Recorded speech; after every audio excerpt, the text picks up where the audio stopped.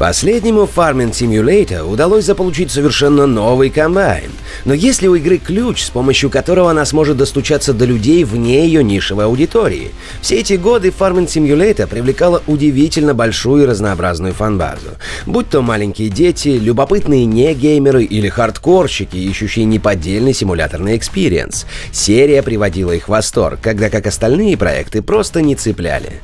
Ну а мы приветствуем вас в видеообзоре Farming Simulator 19 от от X Games Game TV. Давайте разбираться, что изменилось.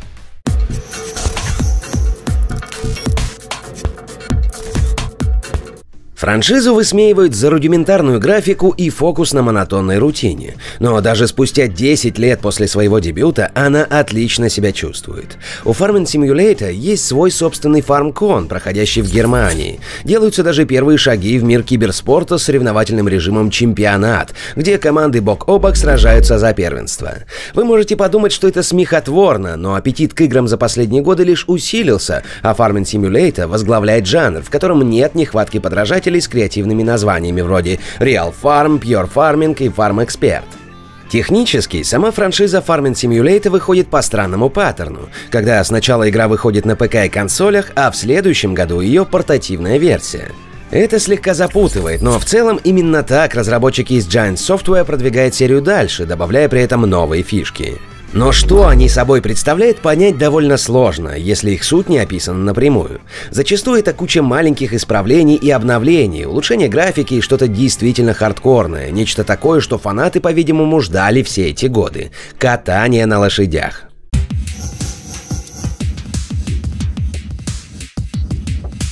Для тех, кто не является сельскохозяйственными маньяками, это не так уж и важно. Но именно в последней части появился самый большой выбор официальной техники и инструментов. Когда гоночные симуляторы соперничают в борьбе за последние модели Porsche и Ferrari, Farming Simulator 19 смог заполучить такие легендарные бренды, как Massey Ferguson и John Deere. Так что если мысль о возможности прицепиться к официально лицензированному навесному оборудованию будоражит ваш разум, то новая часть – настоящий рай. На какой вид техники вы бы не положили глаз, он будет очень разнообразен. Как и всегда, большая часть experience а Farming Simulator вращается вокруг катания по одному и тому же маршруту, обработки полей, ожидания урожая и так до бесконечности. В конце концов, вам нужно будет дозаправиться или сменить транспортное средство с инструментами. Все зависит от поставленной задачи, но избавиться от присущей игре репетативности спастись не выйдет. Сторонние развлечения вроде взращивания животных добавляют разнообразие, но самым главным делом остается работа на полях. Выбор, что сажать, где продать урожай и в какую землю или оборудование вкладываться дальше. Есть три карьерных старта. Вы начинаете с нуля, у вас уже есть приличная ферма, или вы уже являетесь менеджером огромного хозяйства. Симуляцию можно модифицировать, корректируя сроки и скорость роста растений, не говоря уже о множестве других, более мелких настройках. Как и в прошлых частях, можно нанимать рабочих, которые будут автоматически выполнять задания, ведь пытаться делать все собственноручно – чистой воды безумие. То, что у вас есть такие возможности, просто отлично, ведь они позволяют игроку упрощать некоторые части игры, но не существует ничего, что могло бы разорвать этот неприглядный бесконечный цикл.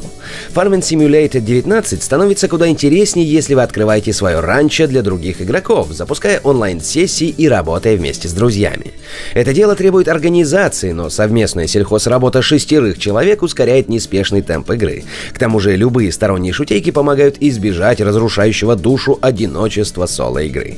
Те, кто играет на ПК, могут пойти еще дальше, приютив на своем ранче до 15 других фермеров, чтобы устроить беспорядочную сельскую вечеринку. Если бы только ребята из Giant Software дотянули эту цифру до 100 человек, у Fortnite и PUBG появился бы серьезный конкурент. Если бы разработчики еще сильнее налегали на мультиплеер, чтобы франшиза была больше похожа на ММО, это бы вдохнуло в нее новую жизнь. Говоря о мультиплеере, увы, в игре нет никаких соревновательных режимов. Остановившись на симуляторном experience е, авторам из Giant стоило бы поэкспериментировать с самой сутью игры, но, как известно, они так не поступили. Новый графический движок закрепил за Farming Simulator 19 звание самой красивой игры серии, но она далеко не выдающаяся. Вы не назовете игру особенно живописной, катаясь по одним и тем же полям, лишь простенькие достопримечательности являются источником небольшого разнообразия. В то же время графику и плохой назвать нельзя. Вы, конечно, найдете просто отвратительные текстуры, если целенаправленно будете их искать, конечно.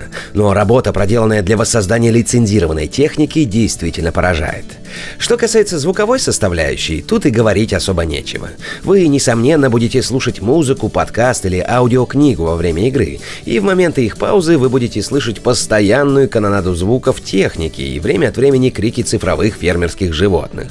Есть и внутриигровое радио, но его нужно использовать только в тех случаях, когда вам захочется еще больше фонового шума.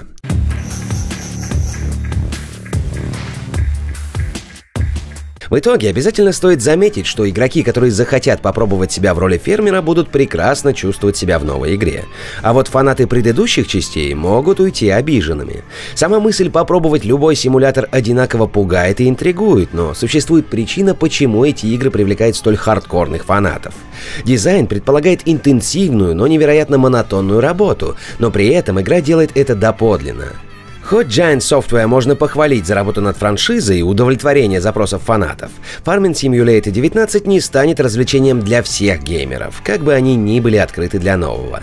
Наша оценка 7 баллов из 10 возможных.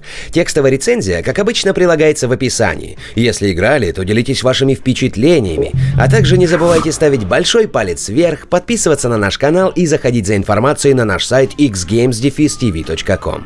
До скорой встречи на xgames Game TV. Играйте и смотрите вместе с нами.